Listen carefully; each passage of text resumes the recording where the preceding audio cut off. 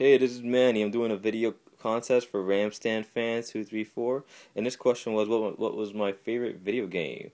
My favorite video game was Final Fantasy VII. Um, I guess it has to be because of the music. It really captured me from part seven, and it kind of grew on. Um, part I played part um beat part um ten and ten two, and then and eight, but really and then thirteen too, but the best one that really got me into the whole story and really had me emotionally involved was part seven.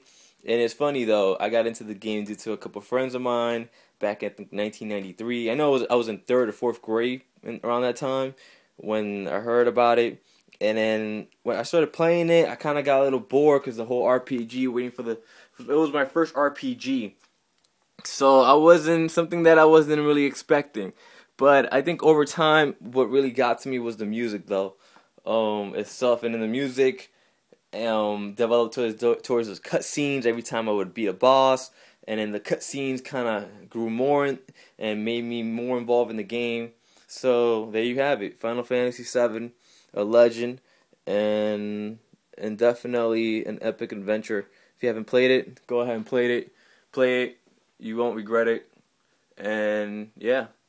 Take care, YouTubers. Peace.